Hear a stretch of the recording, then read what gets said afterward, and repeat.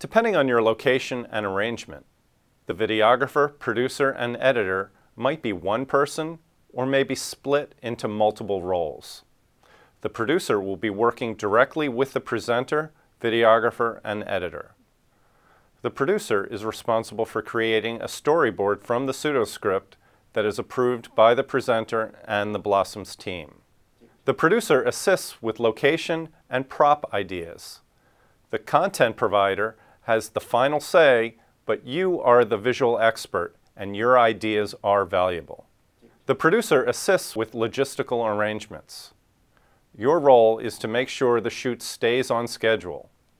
If the budget calls for a one-day shoot, you need to make on-the-spot decisions to make sure your schedule is adhered to. The producer works directly with the videographer to make sure locations have been surveyed and approved. The producer also works directly with the editor to come up with design and post-production ideas and concepts.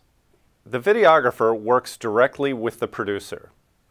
They perform site surveys of all secured locations. The videographer shoots all shots following the detailed storyboard and the videographer also transcodes all camera footage in accordance to the editor's preferred format.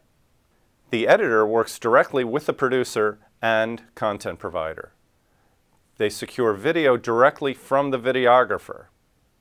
The editor follows the storyboard to create the final high-resolution video.